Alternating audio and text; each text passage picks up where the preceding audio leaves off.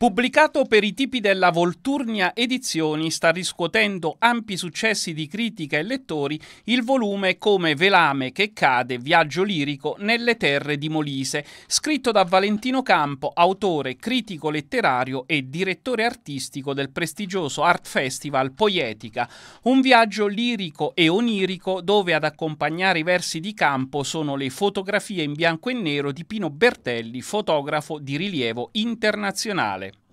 e nasce dalla collaborazione del fatto che per caso Pino Bertelli aveva letto un testo che poi ha voluto all'interno del, del, Velame, un testo, un poemetto che avevo scritto nel 2010, La quarta guerra sanitica. Mi ha chiamato e da lì ci siamo conosciuti, poi è venuto qui nel Molise, è venuto anche in occasione di poetica e abbiamo pensato a questo lavoro sul Molise. Il Molise è in questo caso un espediente letterario per raccontare il dolore, la solitudine, le ferite e le crepe della vita, dalle quali tuttavia entra una luce che offre un orizzonte a dispetto del tempo che passa. È uno scavo all'interno di questo territorio che diventa appunto pretesto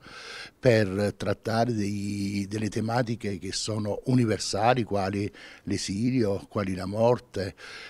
quali la solitudine, quali l'abbandono e, e, quindi dal punto di vista fotografico Pino ha colto quelli che erano gli elementi particolari per farli diventare universali. Dal punto di vista lirico dei versi io ho cercato di tenere quello che è il mio, mio, ritmo interno, cioè quello dettato dalle letture, da maestri che in qualche modo mi hanno guidato, parlo di Luzi, ma di Dante, parlo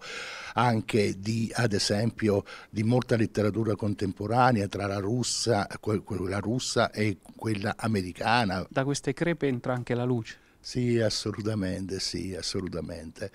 Sì, l'abbandono non è la descrizione dell'abbandono, anzi è la descrizione del racconto della vita appunto di coloro che eh, sono, sono passati, coloro che hanno attraversato questa terra di, Molise. Penso ai tanti eh, dimenticati, ai tantissimi che eh, sopravvivono nella memoria, alcune volte sopravvivono soltanto in quei luoghi che hanno abbandonato. C'è quella foto del, del casolare eh, che è stato eh, predato dal, da questa pianta di fico che spunta dal, sul davanzale e spunta dalle finestre.